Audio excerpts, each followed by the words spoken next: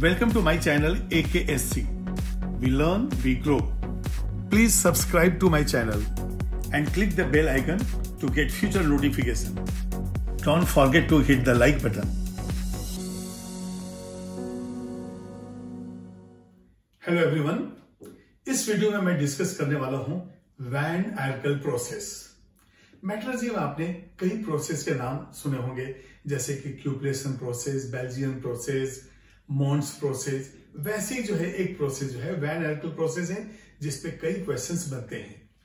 Van Arkel process का basic concept है कि जो मेटल है, उसको हम आयोडाइड में कन्वर्ट कर देते हैं और ये जो आयोडाइड है हायर टेम्परेचर पे डिकम्पोज हो जाता है। जैसे कि मोन्स प्रोसेस भी याद कीजिए, वहाँ पे मेटल का निकल का, हमने निकल टेट्रा कार्बोनाइल बनाया था और उसके थर्मल डिकम्पोजिशन से मिला था निकल अब यहाँ पे जिरकोनियम हाफनियम टाइटेनियम ऐसे जो एलिमेंट्स हैं, इनका अल्ट्रा प्योर फॉर्म हम प्रोड्यूस करते हैं वैन एल्कल प्रोसेस से। वैन एल्कल प्रोसेस जो है 1925 में दिया गया था और इसमें एक और साइंटिस्ट का नाम इन्वॉल्व है डीबोयर तो वैन एल्कल डीबोयर प्रोसेस भी कहते हैं, जैसा मैंने यहाँ पे दिया है। इसका नाम है van Arkel process van Arkel de Boer process अब ये आयोडाइड फॉर्म में हम इसको बनाते हैं कंपाउंड को तो ये हो गया iodide process, crystal brown process, ये सारे पूरे नाम जो है, यहाँ पे एक ही प्रोसेस का है, वो वैन एल्कल प्रोसेस, ब्रीफली हम ये कहते हैं। अब यहाँ पे देखिए आप, जो हम मेटल ले रहे हैं, जैसे कई बार आता है कि मोन्स प्रोसेस से कौन सा मेटल हम प्यूरिफाई करते, एक्सट्रैक्ट करते हैं तो निकल। तो उसी तरह से वैन एल्कल प्रोसेस के अंदर आप देखेंगे कि टाइटेनियम तो यहाँ पे मैं लिख रहा हूँ फॉर टाइटेनियम जिरकोनियम हाफनियम ये जो है हम यूज़ करते हैं। और ये वैन एल्कल प्रोसेस जो है, ये 1925 में दिया वैन एल्कल ने दिया और साथ में डीबोयर ये दो साइंटिस्ट हैं जिन्होंने मिलकर ये ये डिज़ाइन किया इस प्रोसेस को। तो ये टीआई टाइटेनियम जिरकोनियम हाफनियम के लिए। अब यहाँ पे देखिए, इस एपरेटस में आपको समझ में आएगा कि कहाँ पे क्या चीज़ बन रहा है। क्या है? डिकम्पोजिशन हो रहा है। ये देखिए, यहाँ से हमने आयोडीन लिया है। और ये आयोडीन सॉलिड जो इसको यहाँ पे हम ड्रॉप करेंगे। ये जो है मॉलिब्डम इलेक्ट्रोड है। ये टंगस्टन इलेक्ट्रोड है। अब यहाँ इलेक्ट्रिक करंट जब हम पास करेंगे तो टेम्परेचर जो है इस फर्नेस का हो जाता है 1400 डिग्री सेल्सियस देखिए, ये वो चैम्बर है जिसके अंदर जो है, हम रॉ मेटेरियल डालते हैं। तो ये देखिए हमारा रॉ मेटेरियल रॉ मेटेरियल मतलब जो टंगस्टन टाइटेनियम जेकोनियम जो है, वो इसके अंदर हमने डाल दिया। ये रॉ मेटेरियल आ गया। अब यहाँ पे देखिए, इतना ज़्यादा टेम्परेचर ये रॉ मेटेरियल प्लस आयोडीन जो हम ड्रॉप कर रहे हैं, इनके बीच जो है रिएक्शन होगा। टाइटेनियम चाहे वो zirconium hafnium M I four type के जो है, ये आयोडाइड्स बनाएँगे। और ये जो फोर टाइप के आयोडाइड हैं, इसमें हम देखेंगे कि यदि इनका बॉइलिंग पॉइंट बहुत ज़्यादा है तो उस हिसाब से हम इसको कनेक्ट कर देंगे वैक्यूम पंप से। और जब हम वैक्यूम पंप से कनेक्ट करेंगे तो यहाँ पे बॉइलिंग पॉइंट जो है इनका कम हो जाता है और रिड्यूस प्रेशर होने की वजह से उसके बॉइलिंग पॉइंट से पहले ही ये वेपर में कन्वर्ट हो जाते हैं। अब यहाँ पे देखिए, जब आयोडाइड बनेगा तो उसका थर्मल डिकम्पोजिशन होगा। क्योंकि टेम्परेचर यहाँ पे 1400 डिग्री सेल्सियस हमने मेंटेन किया है। तो यहाँ सबसे पहले हम देखें, दो एलिमेंट हम ले रहे हैं।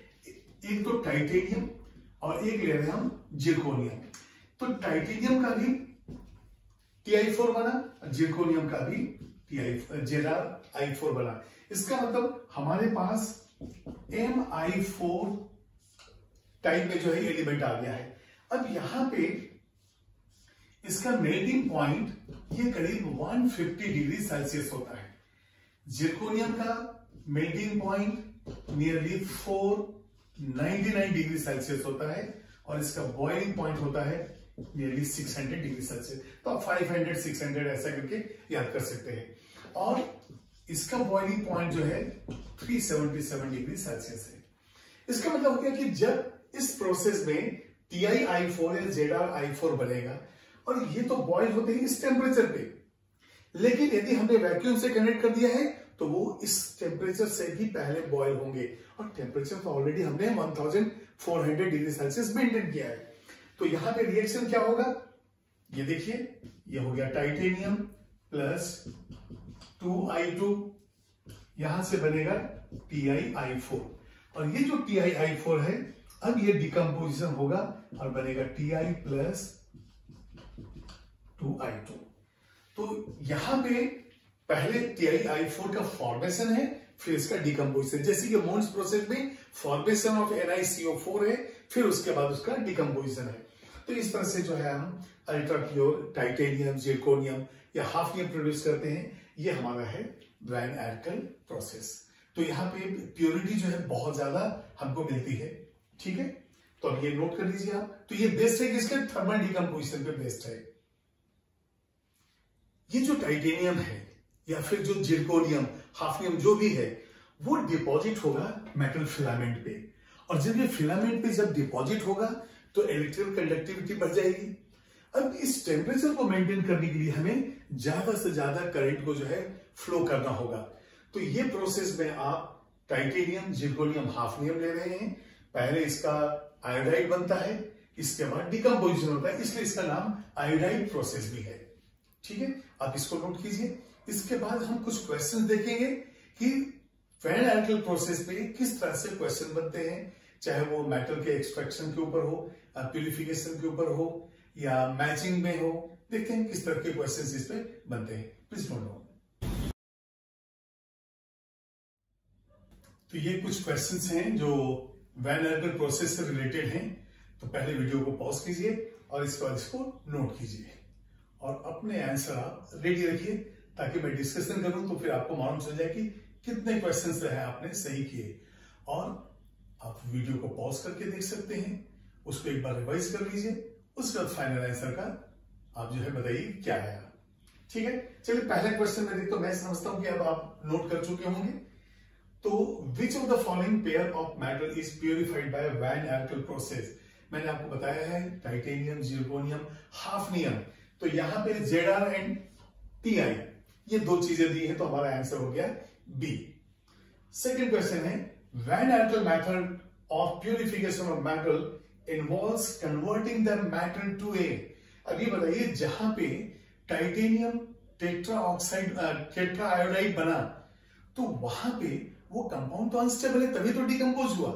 इसका मतलब कंपाउंड तो बनता है, लेकिन वो अनस्टेबल होता है ताकि वो डिकम्पोज हो जाए इजिली तो यहाँ पे हम देखते हैं अच्छा वो वॉलेटाइल भी होगा तो वॉलेटाइल है और अनस्टेबल कंपाउंड बना तो हम सी पे जाएँगे।